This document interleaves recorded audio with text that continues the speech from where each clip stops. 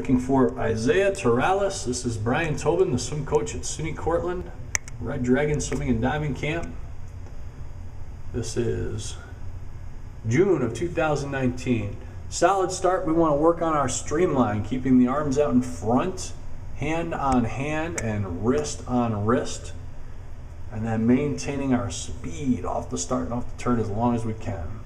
Great body position, hips up close to the surface. Looks like you're rotating well to catch that breath. Turning to the side. Slight lift up, but not terribly so. Coming off the wall. Again, we want to squeeze that streamline. So if you leave Cortland's camp with one thing and it's a streamline, you're going to see some awesome drops in terms of your times. because we want to tighten up that streamline for your starts and your turns. it's an easy way to keep speed because you can dive in and you can push off the wall faster and with less effort than it takes to swim.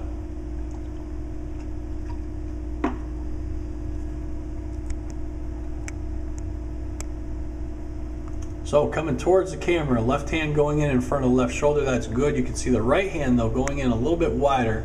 I want you to think about that right hand reaching longer out in front. Reach it longer out in front as far as you can. So every time the fingertips of the right hand go in the water, think about reaching forward as if you're trying to touch the far wall. If you do if you do just that when you're swimming easy, maybe it's warm up, cool down that's going to help you lengthen out your stroke and make you more efficient.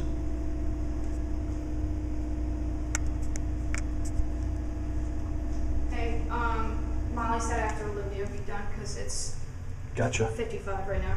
Gotcha. Thank you. So Isaiah, second stroke of his choice. He's up there. We're going to work on our entries, be a little cleaner so we can get that streamline. And long reach out in front.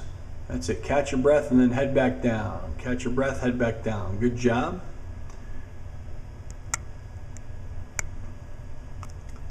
All right, now coming back.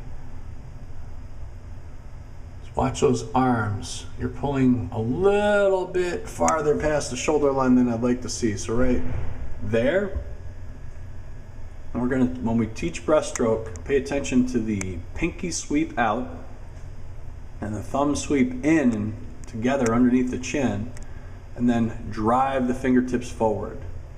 Remember to two hand touch the wall. The turn is different for the breaststroke. It's a backward roll as opposed to the forward roll for freestyle and backstroke. It's a backward roll for breaststroke and fly. And that kick, we're going to talk about your kick but I'm looking at that left foot. We, we get some ankle flexion and redirect the toes, and you're going to see an amazing increase in the efficiency of your kick.